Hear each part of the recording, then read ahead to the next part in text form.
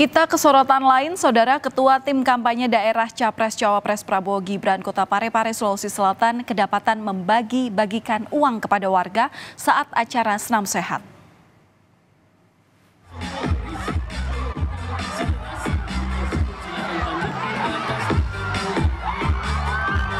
Disaksikan Komisioner Bawaslu Kota Parepare, Sulawesi Selatan, Ketua TKD Prabowo Gibran Kota Parepare, Suryanto membagi-bagikan uang kepada peserta senam sehat saat kampanye.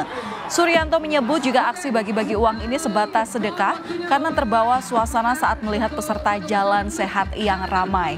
Sebelumnya, Komisioner Bawaslu Kota Parepare telah memperingatkan agar tidak ada bagi-bagi uang di acara senam sehat.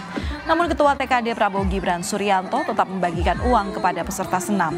Bawaslu akan melakukan penelusuran unsur pelanggaran dengan memanggil Ketua TKD Prabowo Gibran Parepare.